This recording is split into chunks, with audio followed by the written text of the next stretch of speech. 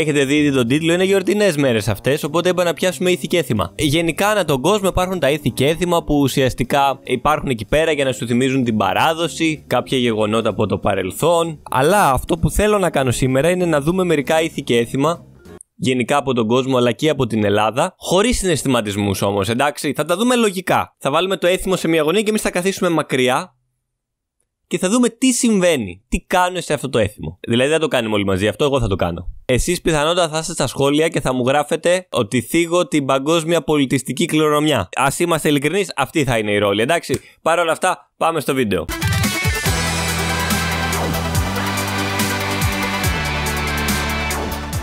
Γενικά το έχω ξαναπεί σε αυτά τα βίντεο. Απλά ξέρεις, βλέπω κάτι στο Ιντερνετ και λέω Αυτό θα για πλάκα να σχολιάσω. Έτσι ανάλαφρα και ωραία, γιατί αυτό θέλεις. Έχεις πατήσει βίντεο στο YouTube. Θέλεις κάτι ανάλαφρο. Πιθανότατα το έχεις πατήσει, δεν δίνεις καν ολόκληρη την προσοχή στο βίντεο, εντάξει. Το γνωρίζω αυτό. Γνωρίζω επίσης ότι αυτή τη στιγμή που λέω ότι δεν δίνεις την προσοχή σου, κάπου έχεις μπουκωθεί και σηκώνει έτσι τα μάτια σου και με κοιτάς. Όπως και να έχει, περνάμε στο θέμα μας για το σημερινό βίντεο.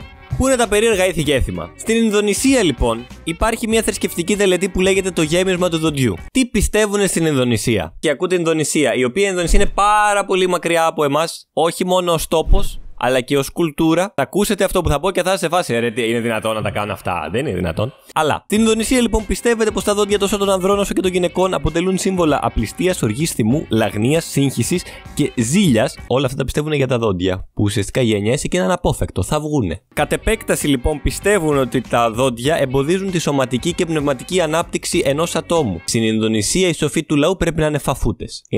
70 χρονών δεν βάζουν μασέλα, φτάνουν στο peak της σωματικής και πνευματικής ανάπτυξη ανάπτυξης. Τι κάνουν λοιπόν τα δόντια επειδή είναι μυτερά, είναι έτσι ε, και είναι όλα αυτά τα σύμβολα που προανέφερα. Κάνουν ένα τελετουργικό που τα σμιλεύουν ώστε να είναι λιγότερο κοφτερά. Και μετά σου λένε στην Ινδονησία η θρησκεία λέει ότι δεν τρώνε κρέας. Δεν είναι από επιλογή τους, παιδιά. Άμα σου βγαίνουν τα δόντια και μετά στα κάνουν έτσι και πας να φας μια μπουκιά κρέας, ας πούμε, και τη μασουλάς τρία λεπτά για να την κατεβάσεις, δεν έχει νόημα μετά. Χάνεις γεύση, χάνεις η φύτα, χάνεις όλα. Δεν, δεν έχει κάποιο νόημα. Γι' αυτό τρώνε μόνο σούπες. Αυτό κατεβαίνει γκλάν, κατευθείαν, στο μάχη φτάνει. Στην Ισπανία έχουν τα άλματα του διαβόλου. Τι είναι αυτά; Ουσιαστικά βάζουν μωρά κάτω στο έδαφος, τα ξαπλώνουν και είναι ένας ντυμένος διάβολος και πηδάει από πάνω τους.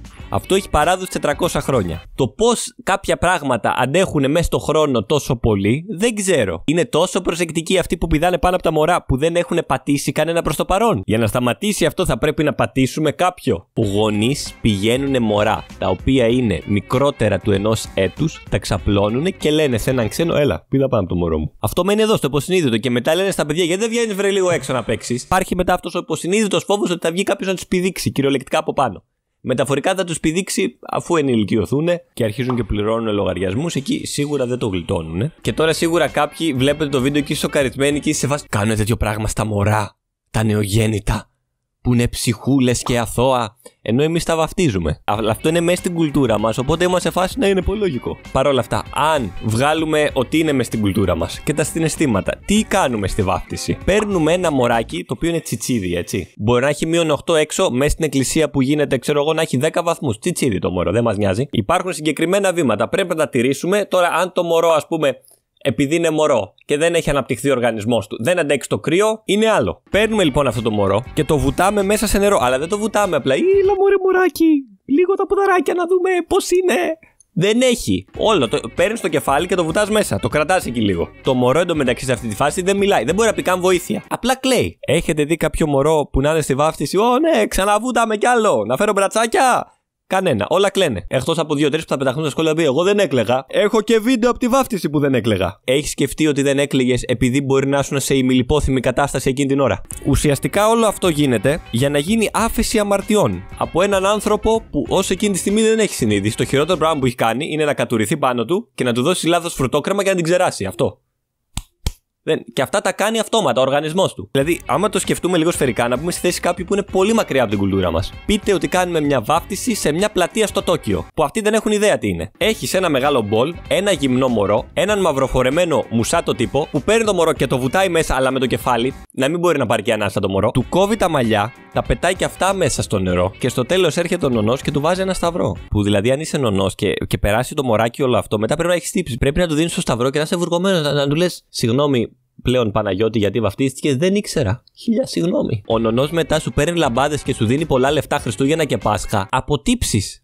Αυτό συμβαίνει. Αλλά ας πούμε ότι όλο αυτό γίνεται σε μια πλατεία στο Τόκιο. Πιστεύεις ότι κάποιος εκεί από την αστυνομία δεν θα το σταματήσει όλο αυτό; Θα πει, Α, όχι, εντάξει. Κλασική περίπτωση βάφτισης. Λογικά πρέπει να είναι κάποιο έθιμο του δυτικού πολιτισμού που εγώ δεν αντιλαμβάνομαι. Γίνονται όλα αυτά, το μωρό έχει περάσει τα χειρότερα, πάλι καλά δεν τα θυμάται. Αν έχει βαφτίσει σε μικρή ηλικία, αν έχεις βαφτίσει σε μεγαλύτερη ηλικία, πάλι παίζει να μην το θυμάσαι. Γιατί εγώ πιστεύω ότι η θεία δίκη, ας πούμε, λέει να έρχεται ένας φτερωτός Will Smith σαν νεράιδα το βράδυ και να σου λέει: Κοίτα αυτό. Και να σου σβήνει τη μνήμη. Δεν γίνεται να το θυμάσαι αυτό, γιατί θα είναι χειρότερη ανάμνηση, ας πούμε. Και αφού τα έχει περάσει όλα αυτά το μωρό, στο δίνει, πλέον το λένε Παναγιώτη, είμαστε εντάξει και έχει πάρει και πόσα λεφτά ο παπάς. Ε, και γαμό τη φάση. Ενώ πάλι, αν το σκεφτούμε λογικά, κάνεις μωρό. Πηγαίνεις στο ληξιαρχείο, λες, έκανα αυτό. Τώρα το λένε Παναγιώτη. Πού υπογράφει; Τέλος. Πλέον το λένε Παναγιώτη. Δεν υπάρχει, ας πούμε, κάποιο γραφειοκρατικό που να λένε Α, βέβαια, ναι. Α, δεν ξέρετε διαδικασία. Α, για να βαφτιστεί το μωρό θα πρέπει να του πετάξουμε 10 ποτήρια νερό στη μούρη γρήγορα. Αν αντέξει, τότε ναι, θα αξίζει να τον λένε Παναγιώτη. Πιθανότατα κάποιοι διαφωνείτε τελείως σε αυτό, αλλά κοιτώντας ψυχρά το τι κάνουμε στη βάφτιση, δεν είναι λογικό, εντάξει. Δεν είναι λογικό να κλείνουμε τα μωρά μέσα σε μια φυλακή, ξέρω εγώ, για να μην βάλει το χέρι στην πρίζα. Να μην πάει να φάει κάτι που δεν πρέπει. Να μην καταπιεί, ξέρω εγώ, μια βίδα. Και να είναι OK να τα παίρνει κάποιος και να τα βουτάει με το κεφάλι με στο νερό. Ολόκληρα. Γενικά, αν κάνετε ένα Google search για πράγματα που έχουν γίνει σε βαφτίσει, είναι λίγο τρομακτικό. Όπως και να έχει. Το επόμενο έθιμο είναι στη φυλή Σατέρε Μάουι. Βέβαια, όταν μιλάμε για φυλή, είναι πραγματικά μακριά από εμάς. Αλλά εκεί πέρα υπάρχει ένα τελετουργικό το οποίο τα νεαρά αγόρια πρέπει να περάσουν με επιτυχία πριν φτάσουν στο σημείο να θεωρούνται ενήλικοι άνδρες. Είναι ξεκάθαρα αυτό που λέμε: Κάποια αγόρια δεν γίνονται άνδρες. Εκεί πέρα για να θεωρείσαι άνδρας, τα πράγματα είναι λίγο πιο σκληρά. Γιατί ξέρεις, είμαστε εδώ πέρα στο δυτικό πολιτισμό και λέμε: Άμα δεν φοράς παντελόνια, δεν είσαι άντρα. Ναι, άμα ήταν εκεί μόνο αυτό, θα περνούσαν υπέροχα. Τι κάνουν εκεί όμως; Τα αγόρια όταν φτάσουν στην ηλικία της σεξουαλικής ορίμανσης, καλούνται να φορέσουν γάντια που είναι γεμάτα με μυρμήγκια που τσιμπάνε και να χορέψουν για 20 λεπτά φορώντας τα. Και εσύ κάθεσαι κάπου, ας πούμε, στην εξοχή, τρώ και νιώθεις ένα μικρό μυρμηγκάκι να περπατάει πάνω στη γάμπα σου και αρχίζεις και χορεύεις από το μικρό μυρμηγκάκι που δεν σε τσιμπάει καν. Απλά επειδή το νιώθει να περπατάει πάνω σου. Εδώ πέρα τι συμβαίνει. Τα συγκεκριμένα μυρμήγκια μάλιστα λέγεται πως τσιμπάνε τόσο δυνατά όσο όταν μια σφαίρα χτυπάει το δέρμα. Τα αγόρια πρέπει να επαναλάβουν το τελετουργικό 20 φορές συνολικά πριν να θεωρούνται άντρες. Φοράνε γάντια με μυρμήγκια που σου δημιουργούν τόσο πόνο όσο να τροσφαίρα και πρέπει να χορεύεις 20 λεπτά. Δεν έχεις και άλλη επιλογή, η αλήθεια είναι. Αυτόματα με το που φοράς αυτά τα γάντια, εγώ πιστεύω ότι χορεύεις twist. Κατευθείαν δεν υπάρχει άλλη επιλογή.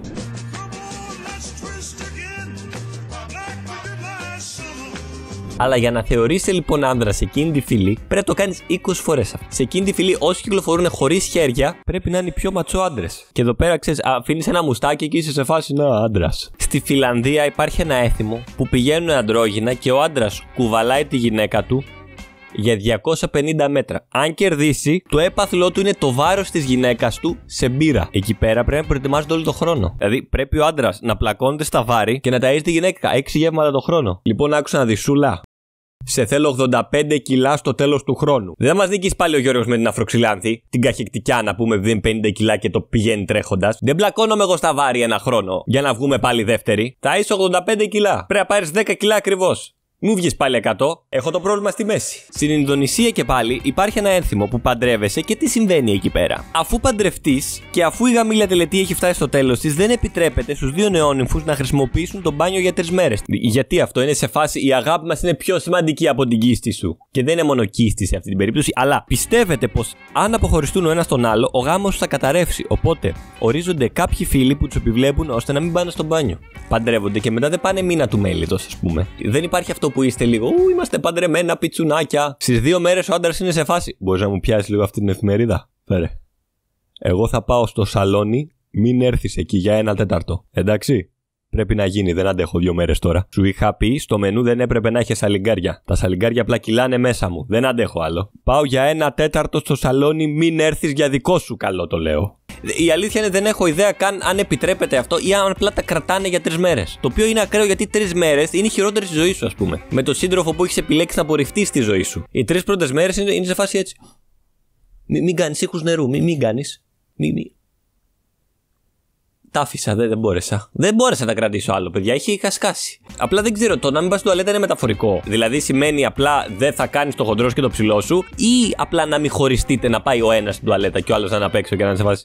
Αγάπη μου, δεν με θέλεις, έτσι; Είσαι ένα τέταρτο εκεί μέσα μόνος, ε. Ελληνικό έθιμο τώρα στην Ήπειρο δεν ξέρω αν το κάνουν ακόμα. Ή αν υφίσταται αυτό το έθιμο. Αν το κάνετε γενικά ακόμα, μην το κάνετε, είναι επικίνδυνο. Λοιπόν, αυτό το έθιμο λέει είναι βασισμένο σε μια παλιά παράδοση που λέει πως όταν γεννήθηκε ο Χριστός πήγαν βοσκοί να προσκυνήσουν και επειδή ήταν νύχτα σκοτεινή, πήρε ο καθένας από ένα κλαδί στο χέρι του, έβαλε φωτιά και γέμισε το σκοτεινό βουνό χαρούμενες φωτιές.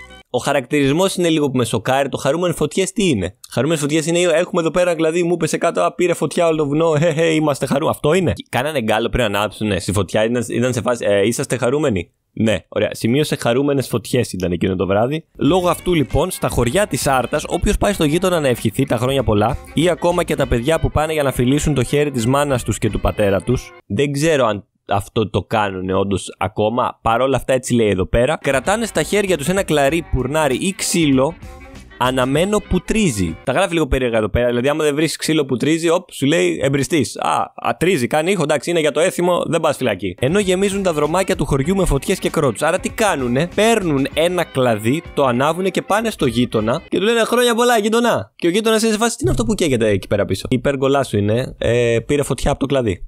Sorry. Την εποχή που γίνεται αυτό πρέπει να είναι όλοι alert. Αν δούνε μόνο κλαδί που καίγεται είναι εντάξει. Αν δούνε κλαδί που καίγεται και τσουγκράνα είναι σε φάση όπαμα έρχονται για το σπίτι. Βγαίνει έξω με το δίκανο κατευθείαν. Στο χωριό το Ράχα της Ινδονησίας και πάλι υπάρχει ένα ετήσιο τελετουργικό που ονομάζεται κάπως, μα ναι, ναι, ή τελετή καθαρισμού πτωμάτων. Τα σώματα των αγαπημένων νεκρών προσώπων μετά την εκταφή καθαρίζονται και ντύνονται και μεταφέρονται στον τόπο του θανάτου τους. Από εκεί είτε περπατούν είτε σύρονται κατά μήκος μιας διαδρομής από ευθείε γραμμές πίσω στο χωριό πριν θαυτούν ξανά. Αν το κοιτάξουμε αυτό έτσι με μια λογική ματιά, είναι ταλαιπωρούμε τα πτώματα. Εκτός και αν ισχύει αυτό το περπατούν που λέει. Αν κάτι κάνουν στα πτώματα της Ινδονησίας και μία μέρα το χρόνο είναι σε φάση, ωραία. Πόση ώρα είμαι εδώ μέσα. 365 μέρες είμαι εδώ μέσα. πρέπει να ξεπιαστώ, παιδιά. Πού με πάτε, Εδώ, στην, στην ευθεία στο χωριό. Ε, Πώς καιρό έχω να σας δω, χαμούλης. Αν διαλέξεις να πας για τουρισμό στην Ινδονησία εκείνη τη στιγμή, λογικά θα το μετανιώσεις. Εκτός κι αν έχεις κάποιο δικό σου φετίχ που δεν χρειάζεται να το μοιραστείς μαζί μας, εντάξει. Ένα άλλο, παιδιά, καταπληκτικό ελληνικό έθιμο, το οποίο το κάνουμε και είναι πολύ λογικό και δεν θα σας φανεί περίεργο, είναι το σούβλισμα του αρνιού την Κυριακή του Πάσχα. Τώρα θα μου πεις εσύ, έλα για να έχεις πρόβλημα και με το σούλμα του αρνιού. Πρόσεξε. Αρχικά να πω ότι δεν είμαι vegan, ούτε vegetarian δεν είμαι. Αρνή τρώω κιόλας. Δεν, δεν έχω κανένα θέμα με αυτό. Ωραία. Απλά τι συμβαίνει. Αν το πάρουμε χρονολογική σειρά, κάνουμε 40 μέρες νηστεία και την επόμενη σφάζουμε ένα αρνί, του περνάμε μια σούβλα και το έχουμε εκεί πέρα και το γυρνάμε γύρω-γύρω για κανένα 8 ώρο πάνω από τη φωτιά. Εκτός του ότι έχουμε σφάξει το αρνί, έτσι, του έχουμε περάσει μια σούβλα σε όλο το σώμα και αυτό κάθεται έτσι με τη γλώσσα συνήθως έξω και στριφογυρνάει εκεί 8 ώρες, που είναι βασανιστήριο, ας πούμε, το να κάνεις νηστεία 40 μέρες και μετά να τρώ το αρνί δεν είναι πολύ λογικό για το σώμα σου γενικά. 40 μέρες η διαδικασία της πέψης ξέρεις πώς είναι. Οπ, δέκατη μέρα που ο Γιωργάρας τρώει πάλι χορταρικά. Είναι, είναι το σώμα σου και είναι σε φάση χόρτα έφαγε. Θα πάρω τα θρεπτικά στοιχεία από εδώ από τα χορταράκια. Τα άλλα θα τα στείλω κάτω. Το παχιέντερο αισθάνεται τύψει γιατί δεν δουλεύει αρκετά. Κάθεται και μελαγχολεί. Λοιπόν, οι μέρες που έτρωγε αυτός κρέας και είχα. Έχω το μόνο που έχω κρατημένο είναι μια σπανακόπιτα από προχθές. Λίγο φιλαράκι έχω κρατήσει να τα στείλω έξω, τι να κάνω; Και μετά από αυτές τις 40 μέρες που είναι σε φάση, Α, ψαράκι έφαγε, χορταράκια, σαλατούλα, γεμιστά. Περνάνε αυτές τις 40 μέρες και έρχεται η μέρα της κρίσης, αρνή, που πέφτει μες στο στομάχι και το στομάχι έχει συνηθίσει αλλιώς. Αρχίζει, βγάζει την τουντούκα και είναι σε φάση, είσαι τρελός. Τι κάνουμε εδώ πέρα; Προετοίμασέ με τουλάχιστον γι' αυτό. Φάει ένα κοτόπουλο πριν. Μπορείτε να ρωτήσετε παλαιότερους που όντως νηστεύαν 40 μέρες, γιατί τώρα δεν ισχύει αυτό. Δηλαδή, αν είσαι θρήσκος, άντε να νηστεύεις μεγάλη εβδομάδα που και πάλι θα είσαι σε φάση, μεγάλη Δευτέρα σήμερα, αλλά έφαγα λίγο το σάντου σάντουιτ μου με τον μπέικον. Προχωράνε οι μέρες. Ε, μεγάλο Σάββατο θα νηστεύσω. Φτάνει, ξέρω εγώ, 10 και μισή. Έχει κόψει τελείως. Λες, η μαγειρίτσα είναι έτοιμη. Είναι, ε. εντάξει, θα βάλω ένα πιάτο τώρα. Δεν, δεν έχω φάει τίποτα από το πρωί. Έχω ρέψει, δεν γίνεται. Αυτό το πρόβλημα υπήρχε πιο παλιά. Τώρα, πούμε, δεν νηστεύεις, αλλά το έθιμο με το σύμβλημα του αρνιού είναι έθιμο. Θα πάρεις ένα αρνί τέτοιο για 5 άτομα. Δεν θα φάτε ούτε το μισό εκείνη τη μέρα. Θα συγχαθείτε όλη την επόμενη εβδομάδα να τρώτε αρνί. Ό,τι περισσέψει, με κρυθαράκι, αρνόσουπα, αρνόπιτα, οτιδήποτε. Γιατί πάρει ένα ζώο ολόκληρο, ας πούμε, για, για 5 άτομα. Αυτό είναι. Μόνο και μόνο για να το σουβλείς. Το οποίο δεν, δεν είναι λογικό, παιδιά. Δηλαδή, αν ήμασταν Ρώσοι, τι θα κάνει, θα σουβλίζα μαρκούδε, ας πούμε, εκείνη τη μέρα. Πάρε 1,5 κιλό, ας πούμε, για το καλό. Και ξέρετε, συνήθως όταν παλιά μαζευόσουν για να σουβλήσει αρνί και βλέπεις συγγενείς σου που τους έβλεπες μόνο εκείνη τη μέρα του χρόνου. Μόνο το σούβλισμα του αρνιού σας ένωνε. Σίγουρα θα υπήρχε στο τραπέζι αυτός ο παππούς που δεν θα ήθελε να αφήσει τίποτα από το αρνί. Μόνο κόκαλα. Είναι και μυαλό και γλώσσα και μάτια, ό,τι θες από το αρνί. Και τα μελέτητα Ήταν ο παππούς σου λέγε, Έλα, φάε, παππού, τι είναι αυτό; Φάε, φάε, καλό είναι. Στον τον πειραματόζω του παππού, λες παππούς μου είναι, τι θα μου κάνει, είχες φάει τα πάντα εκεί να ξέρεις. Όταν δεν σου λένε τι είναι και δεν έχει γεύση κρέατος, να ξέρεις έχεις φάει κάτι περίεργο από το αρνί. Κάτι που ούτε το ίδιο το αρνί πέρναγε από το μυαλό του ότι κάποια μέρα θα φαγωθεί από πάνω του. Το αρνί ήταν σε φάση θα μου φάνε τα μπουτάκια μου, θα μου φάνε εδώ κυλίτσα από εδώ από εκεί, εντάξει. Αλλά όχι, θα στα ταΐσουνε. Τώρα έχουμε ένα έθιμο από την Κολομβία, ωραία, που την πρωτοχρονιά τι κάνουν οι άνθρωποι; Παίρνουν άδειες βαλίτσες και κάνουν το γύρο του οικοδομικού τετραγώνου που μένουν ελπίζοντας σε ένα έτος γεμάτο ταξίδια. Υποθέτω έτσι λειτουργεί στην Κολομβία. Δεν χρειάζονται λεφτά, χρειάζονται δύο βαλίτσε. Ναι, καλησπέρα. Δύο αεροπορικά θα ήθελα για Λος Άντζελες. Αν θα πληρώσω με τερτάι με κάρτα, έχω άδειες βαλίτσες. Μπορώ να πληρώσω έτσι; Όχι. Πέφτω από τα σύννεφα. Η αλήθεια είναι ότι όλα αυτά τα έχω βρει στο Ιντερνετ, οπότε δεν ξέρω κατά πόσο ισχύουν. Αλλά είναι και λίγο σουρεάλ άνθρωποι στην Κολομβία να είναι την πρωτοχρονιά έτσι με άδειες βαλίτσες και να κυκλοφορούν. Να λένε και εσείς έτσι. Χαμός θα γίνει, θα γυρίσουμε όλο τον κόσμο. Όλο τον κόσμο θα γυρίσουμε φέτος. Ξέρετε, υπάρχει και το άλλο που σου λένε ότι ό,τι κάνεις στην αλλαγή του χρόνου θα γίνει για όλο τον υπόλοιπο χρόνο. Κάθε χρόνο εγώ πετάω λεφτά πάνω μου. Δεν, δεν, δεν τα έχω δει, δεν έχει συμβεί αυτό. Τα πετάω, περιμένω και λέω εντάξει, αυτό από εδώ και πέρα θα τα λούζομαι με λεφτά. Αυτό, αλλά δεν συμβαίνει. Άντε κανένα κέρμα να μου έρθει από μακριά, ξέρω εγώ στο κεφάλι και δεν είναι καν 2 ευρώ. Να χαρώ, να πω εντάξει, πόνεσα καρούμπαλο, αλλά έβγαλα 2 ευρώ έτσι. Είναι καλό. Όπως και να έχει αυτό το τέλος του βίντεο, βρήκα διάφορα έθιμα έτσι λίγο περίεργα. Σχολίασα και μερικά ελληνικά έθιμα τα οποία υπάρχουν στην καθημερινότητά μας. Με μία ματιά που δεν ξέρω αν την είχατε δει ποτέ. Μπορεί αυτή η ματιά να έκανε κάποιος trigger, απλά γενικά έτσι τα βλέπω εγώ τα πράγματα. Χωρίς συναισθηματισμούς. Ε, λογικά δεν μου γράψετε κι άλλοι από κάτω μαγαλά, δεν είπες γι' αυτό. Ναι, εντάξει, βρήκα μερικά που μου φάνηκαν εμένα παράξενα. Τα σχολίασα σίγουρα υπάρχουν κι άλλα. Πολλά. Εκατοντάδες ενδεχομένως. Όπως και να έχει αυτό το βίντεο για σήμερα, τα λέμε σε κάποιο επόμενο. Αντίο.